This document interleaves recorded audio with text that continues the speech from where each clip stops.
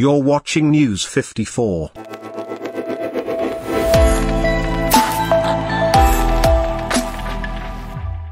Makueni Governor-elect Mutula Kilonzo Jr. says the legacy of outgoing President Uhuru Kenyatta will largely depend on his handing over of power peacefully. In an interview on Citizen Television, Mutula said President Kenyatta should come out and reassure Kenyans of a peaceful transition. Mutula stated, If I was Uhuru I would get out. We see him on top of his car. Let him look like he is having a good time, like he is not stressed. We should have him out there.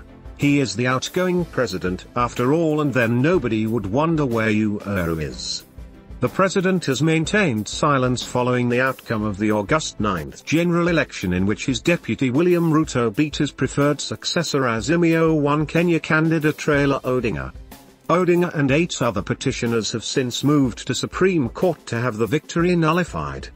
President Kenyatta met the interfaith group at State House, where he assured them that the transition would be smooth.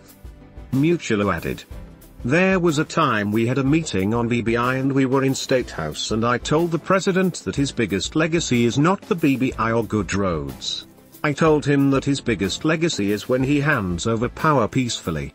Mutula further advised that the president should be calm and be the one propagate the idea of impartiality in handing over, and not like the way every time he issues a press conference, he looks angry. He should be calm.